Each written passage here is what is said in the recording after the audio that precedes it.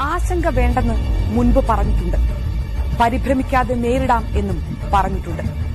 പൂർണ ഉത്തരവാദിത്വത്തോടെ തിരുത്തി പറയുന്നു. ആശങ്ക വേണം. പരിഭ്രമിച്ചിട്ടാണെങ്കിലും പലവട്ടം മുൻകരുതലുകൾ ഉറപ്പാക്കണം. അമ്മേ അമ്മേ അമ്മേ. മോനെ ഈ കോവിഡ് കൊണ്ട് നിനക്കോ ജോലിയില്ല.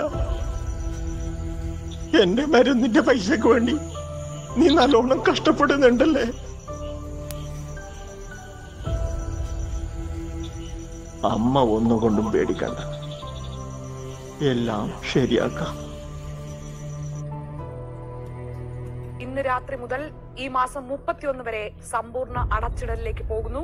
ലോക്ഡൌൺ ആണ് മുഖ്യമന്ത്രി ഇപ്പോൾ പ്രഖ്യാപിച്ചിരിക്കുന്നത്. അതിപ്രധാനമായ നടപടിയാണ് അഭൂതപൂർവമായ നടപടിയാണ് സംസ്ഥാന സർക്കാരിന്റെ ഭാഗത്തുനിന്ന് ഇപ്പോൾ ഉണ്ടായിരിക്കുന്നത്. ഇന്ന് ഇരുപത്തിയഞ്ച് പേർക്ക് കൂടി കേരളത്തിൽ കോവിഡ് സ്ഥിരീകരിച്ചു. ഇതിൽ പത്തൊൻപത് പേരും കാസർഗോഡാണ്.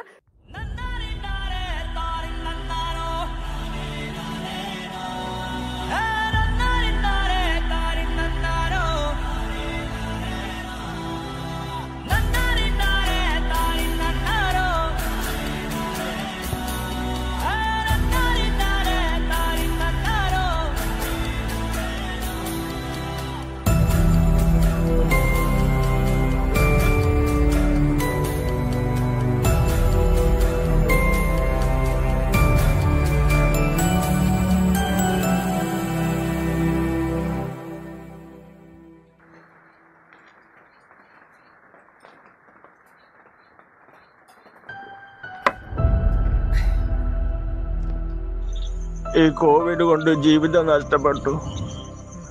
ഇനി എന്തിനു ഞാൻ ജീവിക്കണം?